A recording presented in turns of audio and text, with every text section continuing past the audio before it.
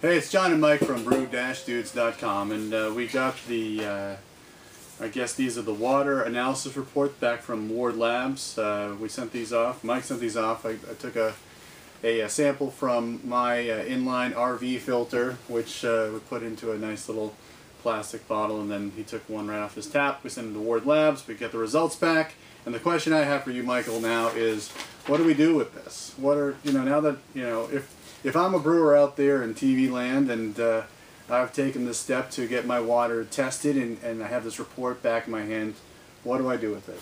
Well, the first thing is to try to not get overwhelmed because water chemistry okay. is difficult even for chemists. Okay. Um, water chemistry can be very tricky, but the first thing that I do when I looked at this was um, what are the key minerals that I've heard about that I want to look for. Okay. And so I went right down that list, and the first four things that I really wanted to see was the sodium and the calcium levels, then also the sulfate and the chloride levels.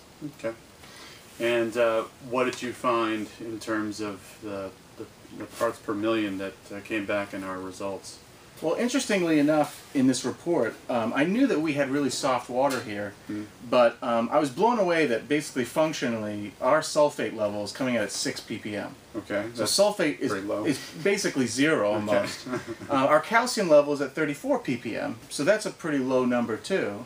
Um, the only thing that, the one thing I was a little bit concerned with is that our sodium and our chloride, and those things will tend to sort of travel together, it's kind of high. Our chloride level is 250 ppm, and sodium is 134 ppm. Okay, you're saying you're saying high and low. Um, what what are, where can someone find like the proper range for these uh, these mineral amounts in the water? Right. So if you look in like uh, Palmer's How to Brew in his water chemistry section, uh-huh. uh, he does a nice job of having table out there talking about each ion specifically. Okay. Uh, the cations, which are your sodium, your your calcium, your magnesium, and then also your anions, which are your negatively charged ions like uh, chloride and sulfate. So he does it, but any any brewing tome that you have um, has got this stuff in there. We all have many books, brewing books probably, and they're all listed in there. Okay. Um, you can also look at different levels that are available um, all over the world, right? You can look at Pilsen, you can look at Dublin, you can look sure. at, you know, so, so you can get a sense of what's going on in the rest of the world. Okay.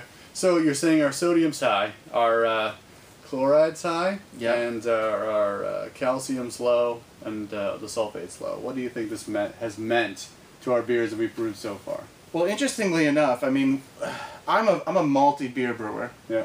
Um, but I do like to brew every fourth or fifth beer, something hoppy, sure. just to keep the palate happy, right? Uh-huh. Um, but the funny thing is, with such a low sulfate level, whenever I've brewed a hoppy beer, I've always focused on late additions because mm-hmm. I love a big hoppy nose and aroma. Sure. But I can definitely say that any beer that we've made, that the bittering charges are always just kind of in the background. And I think that we really struggle to actually have bitter beer. Yeah. Um, in all of the other beer that I brew, brown ales and stouts and some of the lagers we've done mm.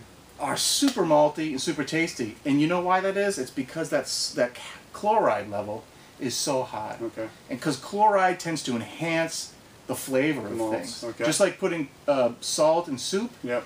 Having a high chloride level in your in your beer is going to promote all those malty flavors. And the low sulfate yeah. is going to diminish the hoppy flavors. So you, you could say that if somebody has water that's uh, low in uh, chloride and high in sulfate, they probably would have more success with hoppy beers. Is that what you're trying to tell me? Yes. Okay. Yeah. The, what what Palmer always talks about, and I've heard Jamil talk about, is it's really about your chloride to sulfate okay. ratio. Yeah. Not so much the absolute numbers, yeah. but the ratio. Okay. And our chloride to sulfate ratio is basically 200 to 1. Yeah, yeah. Which it's supposed to be close. If you do like a 2 to 1 yeah. of chloride to sulfate, that's more malty, or 1 to 2 chloride to sulfate, that's more hoppy. Okay.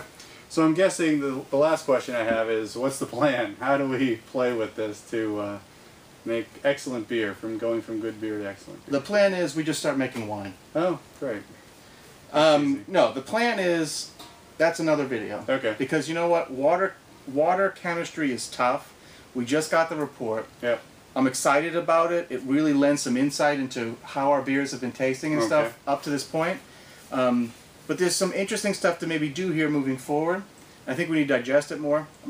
I've talked about how certain ions affect the flavor of beer, but on this report too, there's the stuff that affects the, the pH of your beer, the pH of your mash. We Right. haven't even touched that yet. Nice. So So maybe two more videos. Two more that. videos? Nice.